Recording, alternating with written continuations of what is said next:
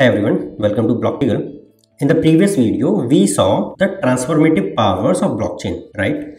So from here, we are going to deep dive into the industries and opportunities which blockchain transformative power brings in different different marketplaces. The first one is banking and financial markets. Blockchain capabilities delivers banking innovation to revamp the experience for customer by reducing transaction time from hours to seconds eliminating manual processes and unnecessary third party in the trading finance. With blockchain, you can conduct businesses rapidly and securely, moving from paper based processes to blockchain storage transaction record in ledgers which can enables easier expansion to your small and medium enterprises. Now we are going to see some application which works in this particular sector. So first one is aave Aave is open source distributed finance protocol where you can earn interest on your deposits. I will provide you the link in the description box where you can visit this particular website and try to enter into the application.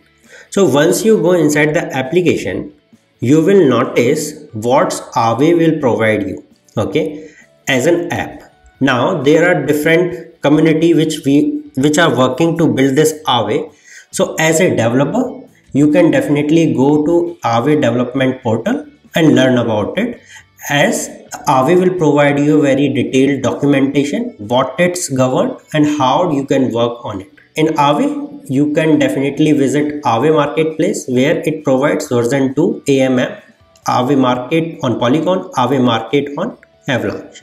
So you can visit this and you always try to work with USD and native currencies for different different blockchain network so the basic concept of Aave is that you can deposit someone will credit it and they will give you an interest on your deposits so Aave will directly provide you the interest on it. Let's take an example of a bank X which asks you to deposit your money into bank. They provide some of the securities and also give you a 3 to 4% of interest on your deposits. Now based on that 3 to 4% interest. On the other hand, there is person B who needs a loan of 10 lakhs from that particular bank.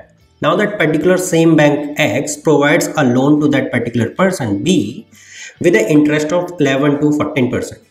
Now there is a huge gap 3% for deposit and if you borrow it you can get at 12 to 13%. This is a huge gap, right? And there is no bank in the world who want to minimize this particular gap. So we created Aave, a decentralized application where a depositor will get 2.8% on their deposit and a borrower need to pay 3.99% on their borrow amount. So this is very very less and as the competition rises this particular gap will always going to decrease.